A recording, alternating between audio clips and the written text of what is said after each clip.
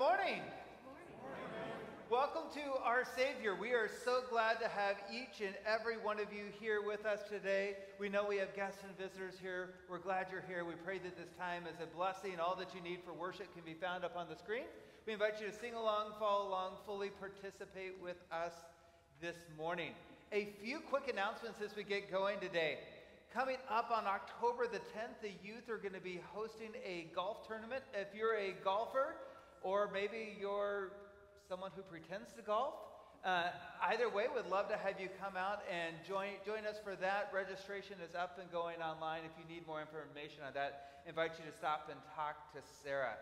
Coming up next week, we are beginning something new. It's going to be a family Bible experience geared especially for kids and parents to come together. It's going to be on Sunday mornings, the last Sunday of the month, and then on Sunday evenings, the first uh, Sunday of the month. So next Sunday, 10:30, we'd love to have all the parents and kids join together for a morning of fun and time in God's Word together. And then the following week, October the 3rd, 40:45 to 5:45 with dinner right before family worship. Would love to have you guys join us for that. We continue with Wednesdays in the Word, both in person and online, 7 p.m. on Wednesday nights. Would love to have you join us. This week, we're going to be reminded of the maker of all those famous chocolate chip cookies, a guy by the name of Amos. We would love to have you come and join us uh, uh, for Wednesday night in the Word. Uh, we have a new sermon series beginning next, uh, not next Sunday, but the Sunday after that, October the 3rd a series called How to Be an Encourager. We're going to be looking at the life of a guy by the name of Barnabas. You're going to want to be here, you're going to want to be a part of it. Excited for that new series. And then also on October the 3rd, we're going to have Blessing of Quilts. Uh, we've had some quilters here at Our Savior who have been busy this year making a lot of beautiful quilts. And we look forward to celebrating those and uh, blessing those as they get ready to be sent out around the world. Next Sunday, we're starting a new Sunday morning study, uh, taking a look at how, how do we as Christians look at Islam? And we're, we're going to spend 12 weeks a, taking a look at that, something very uh, timely in the world that we live in right now. So Jesse Yao is going to be helping us walk through that Sunday mornings at 10.30 as a part of our Sunday morning studies. That feels like a mouthful. But with that said, let's stand as we sing our opening hymn. Awake my soul and with the sun. May God bless your worship.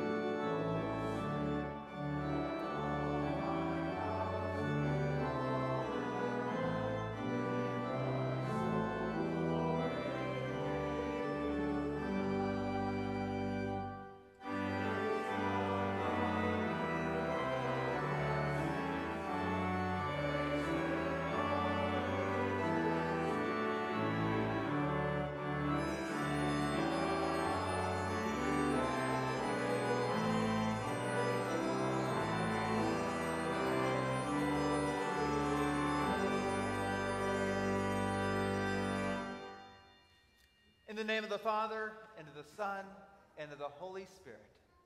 Amen. Delight yourself in the Lord. And he will give you the desires of your heart. Commit your way to the Lord. Trust in him, and he will act. He will bring forth your righteousness as the light. And your justice as the. Be still before the Lord and wait patiently for him.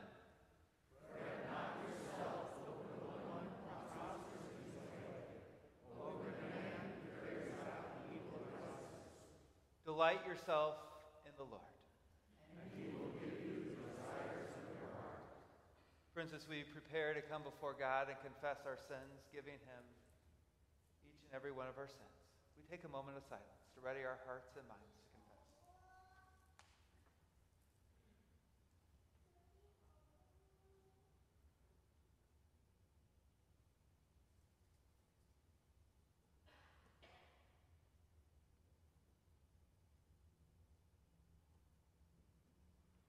Let us now confess our sins to God our Father.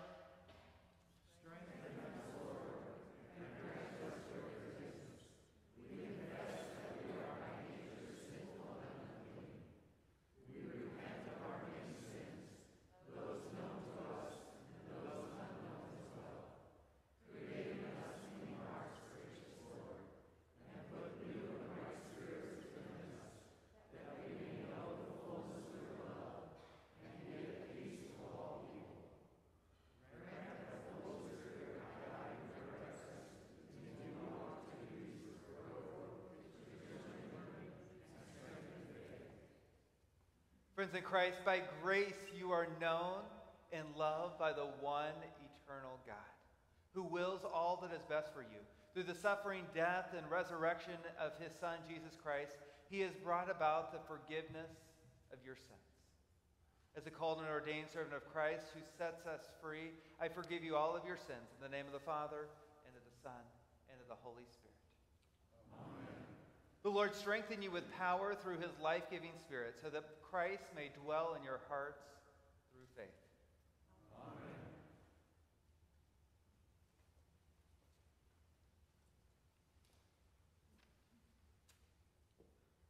In peace, let us pray to the Lord.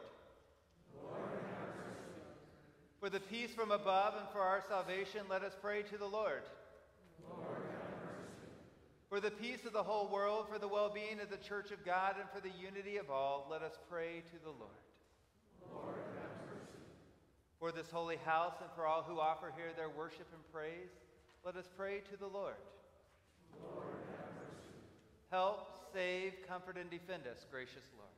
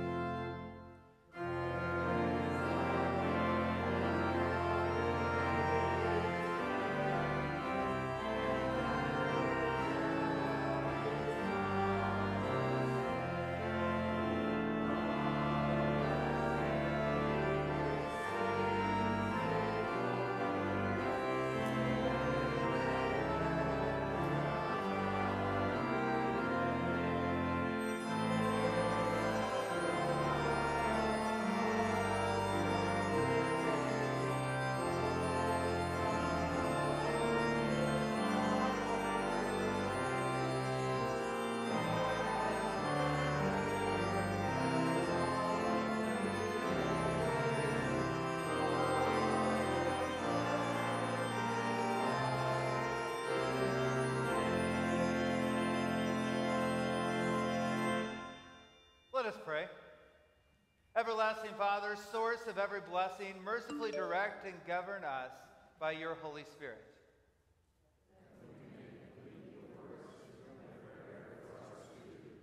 Through Jesus Christ, your Son, our Lord, who lives and reigns with you in the Holy Spirit, one God, now and forever. Amen. Please be seated.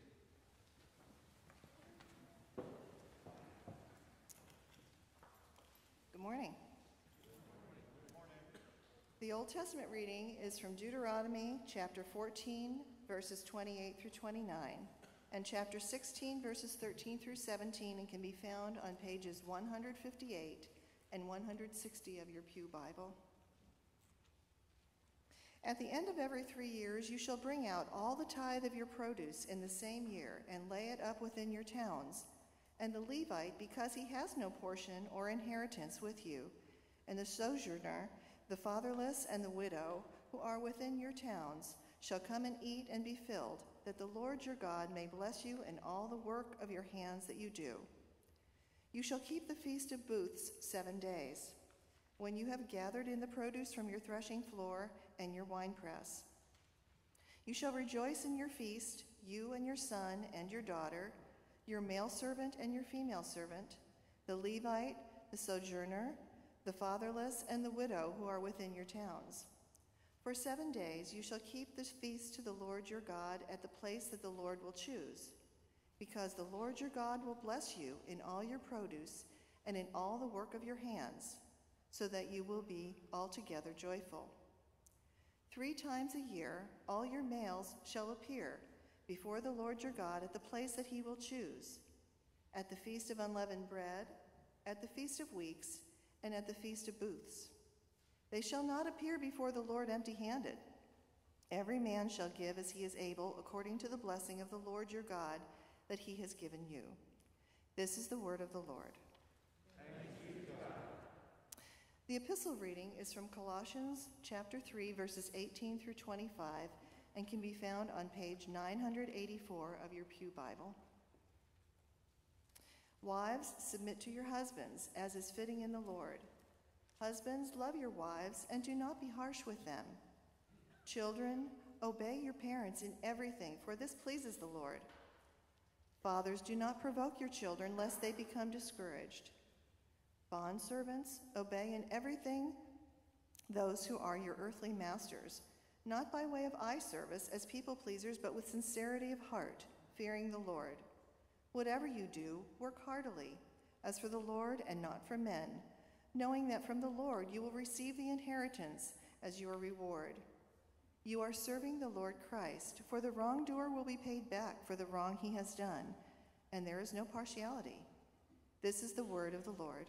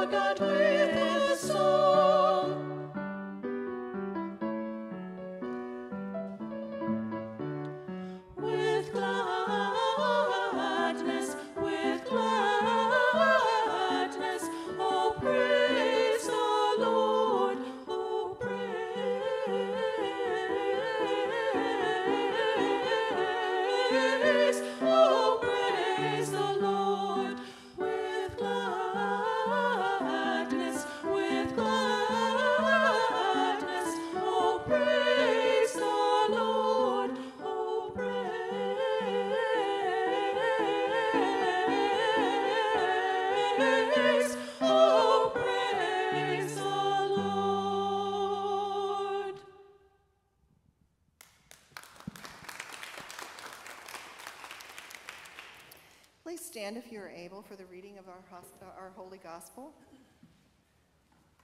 The Gospel reading is from Matthew chapter 6, verses 19 through 24, and can be found on page 811 of the Pew Bible. Do not lay up for yourselves treasures on earth, where moth and rust destroy, and where thieves break in and steal, but lay up for yourselves treasures in heaven where neither moth nor rust destroys, and where thieves do not break in and steal. For where your treasure is, there your heart will also be. The eye is the lamp of the body. So if your eye is healthy, your whole body will be full of light. But if your eye is bad, your whole body will be full of darkness. If then the light in you is darkness, how great is the darkness? No one can serve two masters, for he will either for either he will hate the one and love the other, or he will be devoted to the one and despise the other. You cannot serve God and money. This is the gospel of the Lord. We now join in confessing our faith in the words of the Apostles' Creed. I believe in God the Father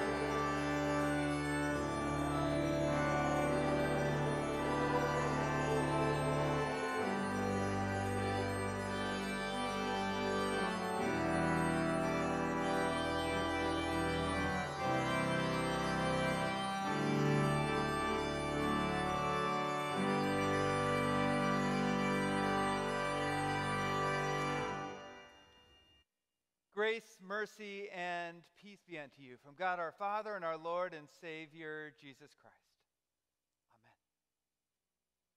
Amen. Who am I? And what am I here to do? Two huge questions, right? Who am I? And what am I here to do? And how we go about answering those two questions will have a dramatic impact on not only how we see ourselves, but how we live out each and every moment of our lives. Who are you? Friends, you are more than the sum of the grades that you make on your report card. You are more than the sum of your accomplishments. You are more than the sum of the trophies hanging on your wall or on your nightstand. Who are you? You are more than the number of friends that you have or the number of the friends you don't have. You're more than the sum of the number of friends you have in real life or the number of friends you have on Facebook. Who are you? You are more than the clothes in your closet, the clothes that you wear, the accessories that you accessorize with, or the shoes that are on your feet. Who are you? You are more than the circumstances that you will face, the family that you were born into, the house that you live in, or the car that you drive. Who are you? You are more than the mistakes that you will make, the shortcomings in your life, the pain that you experience, and the mistakes that you will make. Who are you? You are more than the parent of your child. Who are you? You are more than the job that you have or the title that's on your desk. For friends, we live in a world that loves to put labels on absolutely everything. Labels that seek to define us, labels that seek to tell us who we are, whether we are rich or poor, young or old, pretty or ugly, smart or not smart, bald or hairy, fat or skinny. And these labels just keep coming and coming and coming. And it's the world's way of saying, let me tell you who you are and what you're supposed to be, but also what you're supposed to do. But in all of these labels and all of these descriptions of who we are, there's one word that I see that we're missing. There's one name that I see that we're missing Jesus. For this morning, instead of grounding us in who the world says that you are, I want to ground you in who Jesus says that you are. And what the Bible has to say about who you are. Who are you? You are God's beautiful and amazing.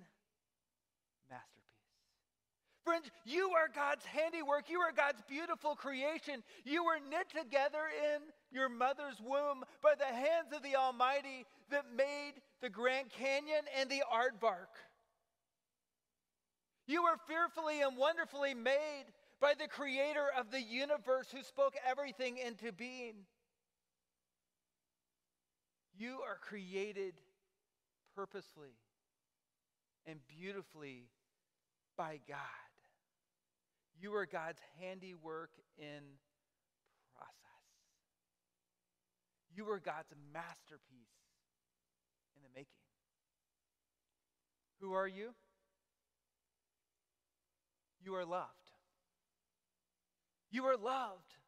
Not in the way we love our favorite sports team, not in the way we love tacos or burritos or whatever your favorite food is, but you are loved with a love that isn't here today and gone tomorrow. You are loved with a love that's higher than the heavens, deeper than the seas, wider than the oceans. You could spend the entirety of your life seeking to come to the end of and find the depth of this love, and you will never find the end of it because it has no end.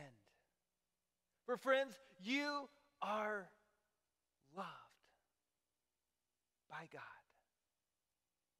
Who are you? You were desired. You were desired. In a world where at times we can feel all alone, where in times we can feel like the odd man out, where we can feel insignificant and like no one would notice if we weren't there, God's words to you are you are desired. You were so desired that Jesus would give up heaven to come and be with you. For Jesus gave up heaven, all the glory, all the majesty, all the awesomeness of heaven to enter into our lives, to enter into our world, to enter into history, to enter into our story, to come on a mission to seek and to save the lost. But to say that isn't enough, because we have to make it personal. He came on a mission to seek and to save you. Because the thing that he desired more than anything else was for you to be his own. So much so that on a day we call good, on a hill we call Calvary, he would lay down the life of his own son and die. Because when it, he looks at you, he sees someone worth dying for. And he desires for you to be his own. Friends, you aren't just God's masterpiece. You aren't just loved. You aren't just desired, but you are forgiven. You are forgiven. No matter what sins that you've made, no matter what mistakes that you've done, no matter what you've done, no matter how big or small, no matter how public or private, the deepest, darkest things that you try to hide from everyone around you, in Jesus, each and every one of your sins has been forgiven. In the eyes of God, you are forgiven and you are holy. But even more than that, you are God's child. You are God's child. You're a prince or a princess of the King and Kings and Lord of Lords in a world where sometimes we wonder, do I belong here? Does anyone else want me around? God says, You are mine. You are my family. You're a part of this house. You're my kid. And friends, this is who God says that you are. You are created by Him, you are desired by Him, you are loved by Him, you are forgiven by Him, and you are His child. Don't believe me? Let's take God's word for it. Here's how Peter puts it 1 Peter chapter 2. Read for me these words in red. But you are a, a royal priesthood, a holy nation, a people for His own possession that you may proclaim the excellencies of him who called you out of darkness into his marvelous light. Once you were not a people, but now you, you are God's people. Once you had not received mercy, but now. What does Peter say about you? Don't, don't, don't listen to me, listen to God. What does he say? You are chosen. God chose you. Not like a game of kickball where you're playing recess and you get down to the very end and there's that one kid left and then everyone's going, I don't want him. And someone goes, Well, I guess you're the last one left, so I'll take him. That's not how God chose you. God chose you before the foundation of the world. God, knowing you, knowing your foibles, knowing your warts and your stinkiness too, God chose you on purpose to be His. He has made you holy. He has made you his priesthood so that the world might know him through you. Think about that. God's desire for you is that the world might know Jesus through you. You're the instrument, you're the vehicle, you're the one through which he says, I want others to know me through you. Once you didn't belong, but now you do belong. You're a part of the family. For you are one who has received mercy. Don't believe Peter? Don't believe me? Well, how about Paul? Colossians chapter 3. Here's how he puts it there Put on then as God's chosen ones, holy and beloved. Who are you according to Paul? Chosen, right? Not in this I'm stuck with you kind of way, but in the God chose you kind of way. Holy. Why? Because of what Jesus did on the cross, he said, I'm not going to let your sin, I'm not going to let your mistakes, I'm not going to let your past define who you are. But through the blood of Jesus, you have been made perfect, you have been made holy. and you are his beloved. And you are never going to be able to come to the end of the depths of God's love for you. And, you and some of you are going, Pastor, you've repeated yourself like three times. Yes, I know. Some of you are sitting out there going, dude, Pastor, just get, get on with it already. We already know this. But, friends, we live in a world that's constantly trying to tell us who we are. We live in a world that's constantly trying to immerse us and say, let me define you, let me tell you who you are, what you're supposed to do, how you're supposed to act, how you're supposed to think, how you're supposed to love, how you're supposed to relate. And, friends, if I have an hour a week with you, I am going to immerse you in the reality of here's who God says that you. Because we need to be reminded again and again and again and again because I go back to those two questions, right? Who am I and what am I here to do? Because if we lose sight of who we are in Jesus, then what we're going to hear next in the book of Colossians is nothing more than just another to do list. Another list of do this, don't do that. But if we read these words through the lens of Jesus and who he is and what he's done for us and who he says that we are, it's not just a to do list. It says, here is how we live out this identity that God has placed upon us in His Son. For friends, as we go and we look at this list, whether it's Paul's list, holy, chosen, beloved, whether it's Peter's list, chosen race, royal priesthood, a holy nation, a people for his own possession, the ones who God has his, our picture on his refrigerator or my list. You are God's beautiful creation. You are desired. You are loved. You are forgiven. You are God's child. I don't care which list you look at. All of those things are true because we are truly blessed by God. And as we think about this idea of blessing, we always have to think of it not as something we've earned, not as something that we've made a reality, but something that comes from outside of us, comes from an outside force, comes from God's work in our lives. And as people who are blessed, and if all these things that we've said are true, are, we are truly blessed, then what does it mean to live a life flowing out of the blessings of God in our lives. And for that, I want to turn back to the words of Paul, Colossians chapter 3. Let's take a look. Colossians chapter 3. Let's go back to verse 12. And here goes. Put on then as God's chosen ones, holy and beloved, compassionate hearts, kindness, humility, meekness, and patience bearing with one another, and if one has a complaint against another, forgiving each other as the Lord has forgiven you, so you also must forgive. And above all these, put on love, which binds everything together in perfect harmony. And let the peace of Christ rule in your hearts, to which indeed you were called in one body, and be thankful. Let the word of Christ dwell in you richly, teaching and admonishing one another in all wisdom, singing psalms and hymns and spiritual songs with thankfulness in your hearts to God. And whatever you do, in word or deed, do everything in the name of the Lord Jesus, giving thanks to God the Father through him. Let me ask this question Does who we are matter?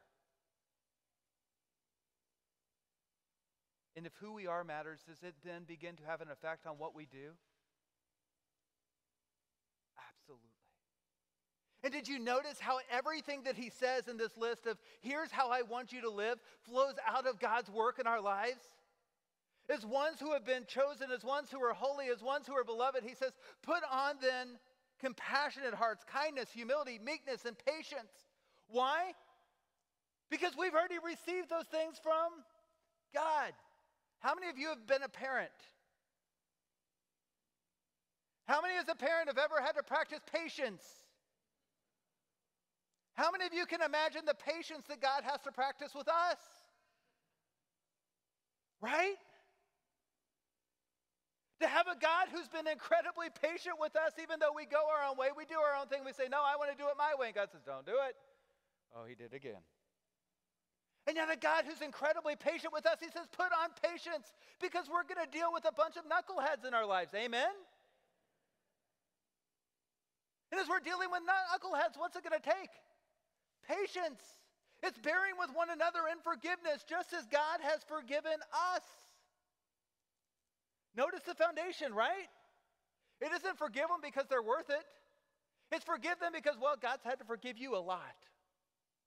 And love one another because we've learned from God this is what love is. Not the love that we see in this mushy gushy rom com kind of way. Not a love that's here today or gone, to gone tomorrow. Not a love that's, well, I feel it in my gut because I get butterflies when I'm around you. But a love that says you're worth dying for. and he keeps going in. He says, Well, I want you to let the peace of Christ rule in your hearts because God's peace comes into our lives. And it says, No matter where we go, no matter what we face, we know the end of the story, right? And on the last day, guess who wins? God wins. So you can take my life, you can take my stuff, you can take my freedom, you can take all the stuff, but you can't take away the end of the story. And that's what it looks like to have the peace of Christ rule in our We're people of the word, people who come to God's word and says, we believe that this is a living and active word. We live and move and breathe and have our being in this word so that it begins to shape the way that we think. It shapes the way that we speak. It shapes the way that we live, the way that we love, the way that we relate. We gather and we have thanksgiving and worship together so that, going back to verse 17, what does it say? And whatever you do in word or deed, do some things Is that what it says? But in everything, what's included in everything? Everything. In the name of the Lord Jesus, giving thanks to God the Father through him. For instance, I read these words, I can't help but think of a story of a young boy. A young boy whose name was Johann. His parents died at a young age, and there's a story of him when he was about 10 years old. It was a dark and stormy night and led only by candlelight. He snuck out of his room and he loved stormy nights because there was noise going on outside. And he could sneak out of his room and he knew which boards not to touch in the floor. And he could sneak down the hall and into his brother's study. For you see, he was being raised by his brother after his parents died, and his one passion in life was music. And his brother was the church organist, and so he was teaching young Johann how to play music. And Johann loved music, but he had a problem with his brother because his brother said, Music is serious business and the thing of adults, and you can learn the basics, but you can't learn anything else. And this drove Johann nuts because he wanted to grow and learn and learn and learn and learn and learn. And so, under the cover of darkness on this dark and stormy night, he snuck down the hallway. He creaked the door open just right to make sure it didn't make any sounds to wake his brother up. And he went into his brother's study where he found all of his brother's music. And note by note, he began to copy down on a piece of paper the music that his brother was playing so that he could go back to his room and begin to practice. And he began to practice and practice and practice to the point that by the time he turned 17, he become a good enough musician that he was hired by a Lutheran church to be their church organist and their church choir director. He liked to tell people that I play the notes on the page, but God's the one who makes the music. And he loved to share his passion, his joy of music with all of God's people. But one day his pastor came to him, and I know that this will be a shock to all of you because this would never happen in a church ever. Someone came to the pastor and complained. I know that's a shock. And the pastor came to Johann and said, We've had a complaint about your music. Some people think it's too fancy. Some people think it's too loud. Some people think it's taking away from the focus off of God. And so, Johann, we're going to have to fire you. Johann was heartbroken because he tried to do everything he did to lead people into a heart of worship. He tried to use all of his music to be an outpouring of his thoughts, emotions, and it was an act of worship to God. And yet, I have to tell you that this wasn't the end of the career of Johann, but he continued to make music. He continued to write music. And every time he came to the end of the piece, he would write three letters at the bottom of the last page S, D, G. Those three letters stood for three Latin words Soli Deo Gloria. To God alone be the glory.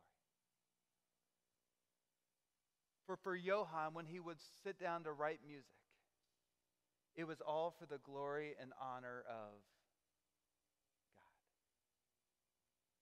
I want you to hear the way he described this reality. These are the words of Johann Sebastian Bach. Here's what he said The main purpose of my music is to glorify God. Some people do this with music that is simple. I have chosen to use a simple style, but my music comes from my heart as a humble offering to God. This honor God, honors God no matter what musical style I use. Jesus, help me show your glory through the music I write. May it bring you joy, even as it brings joy to your people. For here's what Bach understood. When Paul is speaking these words, Colossians chapter 3, verse 17, and he says, And whatever you do in word or deed, do everything in the name of the Lord Jesus, giving thanks to God the Father through him. He's not just talking about the professional Christians, whatever those are. He's not talking about just those who were uber religious. He's not just talking about those who were old or those who were young or those who were middle aged or those who were still working or those who were retired. He's talking about everyone. It's saying in everything we do, we do it for the glory and honor of God. Now check out where Paul goes next, Colossians 3 18. Wives, submit to your husbands as is fitting in the Lord. Husbands, love your wives and do not be harsh with them. In other words, does this go into the realm of our marriage? The kind of spouse we are, the way that we love our husband, the way that we love our, our wife, flows out of our worship of God and who God says that we are. But notice the next relationship it goes into. Children, obey your parents in everything, for this pleases the Lord. Fathers, do not provoke your children, let them, lest they become discouraged. In other words, it's the parent child relationship. The kind of parent we are flows out of who God says that we are. We do it for God. The kind of child we are flows out of our relationship with God. Then we hear one, one more. Bondservants, obey in everything those who are your earthly masters, not by way of eye service as people pleasers, but with sincerity of heart, fearing the Lord.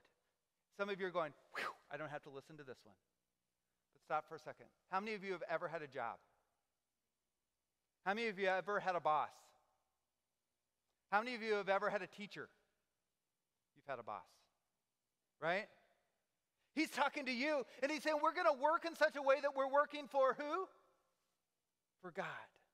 Not trying to please them, but we're doing everything we do because they could be a terrible, horrible, no good, dirty, rotten scoundrel. But we're going to be the best worker we can because we're seeking to give glory and honor to right? And then he brings it all together, verses 23 and 24, and I'll stop here, I promise. Whatever you do, hear those words again. Whatever you do, work heartily as for the Lord and not for men, knowing that from the Lord you will receive the inheritance as your reward. You are serving the Lord Jesus Christ. It's two questions, right? Who am I? And what am I here to do? If we begin to listen to the world and we begin to take Jesus out of the equation, everything we've just heard from Paul makes absolutely no sense. But if we begin to hear ourselves and see ourselves through the lens of Jesus and who Jesus says that we are, what Paul said right there makes a lot of sense. We do everything for the glory and honor of God, seeking to serve an audience of SDG, right? Soli Deo Gloria. To God alone be the glory. Will you pray with me? Lord God, Heavenly Father, we thank you for your incredible love for us. We thank you that you're the God who not only made us, but desires us and wants us to be your own. We thank you that you're a God who loved us so much that you would lay down your life for us. We thank you that in you we are forgiven and had new life. We thank you that we get to be your kids.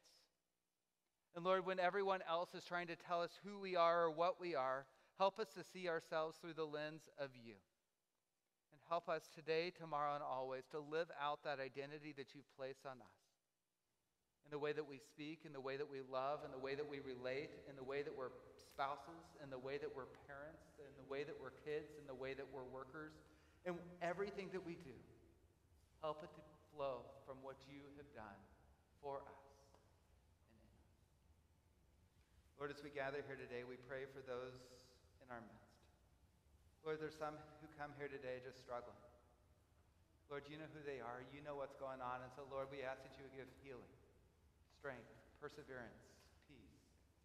There's those in our midst who are sick. And Lord, we ask for your healing touch. Throughout your many, ministry, you healed many with failed and. And just as you healed then, we ask that you would heal now. Lord, we pray for our community. We pray that you would bring peace. We pray that you would bring us together. And that you would help us to be your lights where you have placed us. All these things we bring before you, and we now pray the prayer that you're teaching us to pray. Our Father, who art in heaven, hallowed be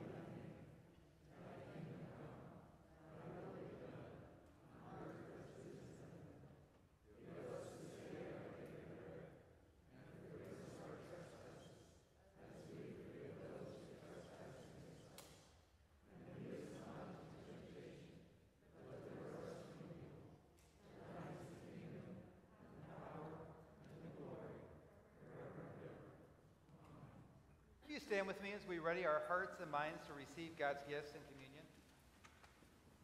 Friends in Christ, the Lord be with you. And also with you. Lift up your hearts. Let us give thanks to the Lord our God.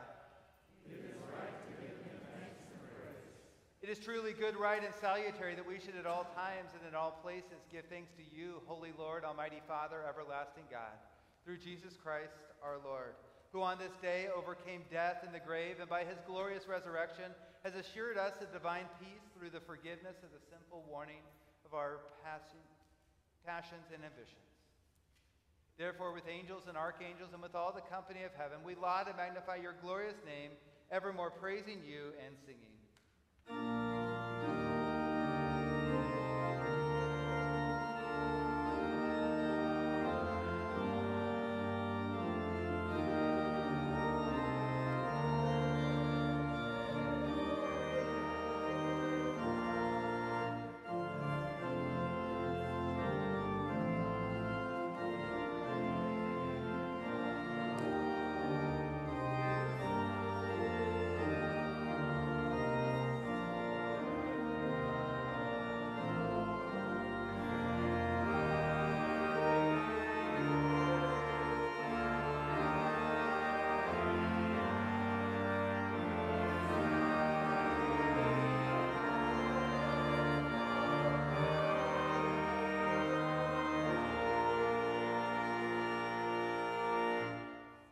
Friends in Christ, it's with thanksgiving that we remember how our Lord Jesus Christ, on that very night in which he was betrayed, took bread.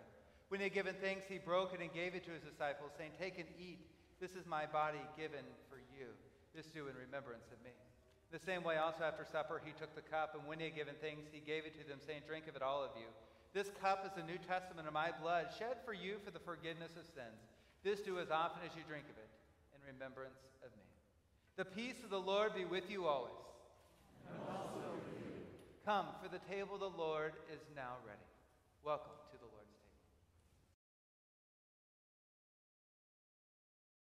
table. Christ, now may this very body and blood of our Lord and Savior Jesus Christ strengthen and preserve you in the one true faith until life everlasting. Go now in his peace and joy and serve the Lord. Amen. Let us pray. O God, the Father, the fountain and source of all goodness, who in loving kindness sent your only begotten Son into the flesh, we thank you that for his sake you have given us pardon and peace in the sacrament.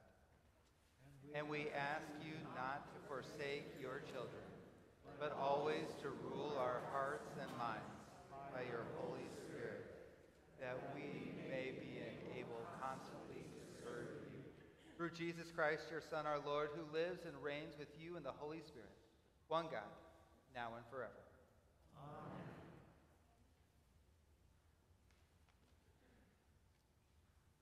Friends, we are truly blessed, right?